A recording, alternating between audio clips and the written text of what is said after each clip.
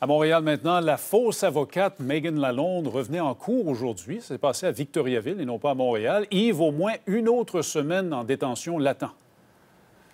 Oui, parce qu'elle subira son enquête sur sa remise en liberté seulement la semaine prochaine, Raymond, ce qui signifie effectivement qu'elle reste en détention jusqu'au 7 août. C'est la prochaine date fixée. Elle a brièvement comparu tantôt. Elle est représentée par une avocate de l'aide juridique, donc elle devra patienter quelques jours comme ça. Et la raison pour laquelle elle se retrouve derrière les barreaux, Raymond, c'est qu'elle faisait face à un mandat d'arrestation. Elle avait faux bon, fait faux bon pardon, à une juge au début du mois de juillet au palais de justice de Victoriaville. Il y a ensuite eu ce mandat d'arrestation et ce sont les policiers de Blainville qui l'ont cueilli effectivement en début euh, de semaine, mais le mandat euh, d'arrestation, ben, c'est la SQ qui exécutait ce mandat. Alors, cela dit, on parle d'un dossier à Victoriaville de fraude alléguée, mais on connaît surtout Mégane Lalonde euh, pour ses phrases qu'elle a faites, notamment sur les réseaux sociaux, Internet, Instagram, TikTok. Vous voyez, par exemple, la photo d'elle, la vraie Mégane avec le chandail rayé, la fausse, cette image créée de toutes pièces avec l'aide de l'intelligence artificielle, où elle aurait également floué